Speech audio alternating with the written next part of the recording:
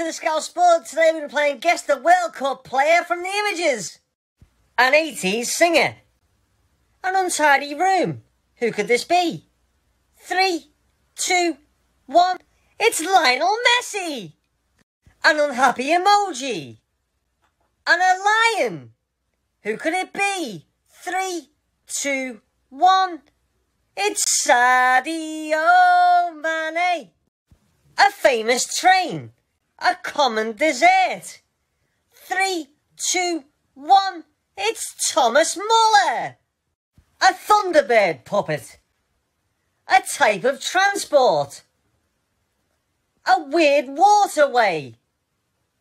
Three, two, one. It's Virgil van Dijk. A city in Italy. A toilet. Another toilet. A massive turd. Three, two, one. It's Romelu Lukaku. A part of a foot. A part of a leg. A random black bird.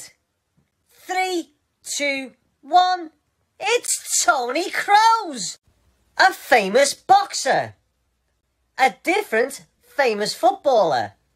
Three, two, one. It's Alisson. A part of a ship. A party of Wi-Fi. A favourite dish. Three, two, one. It's Declan Rice.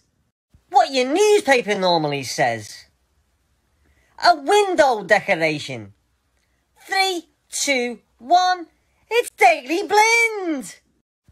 A Scottish drink. Popular card game. A type of tree. A mountain range.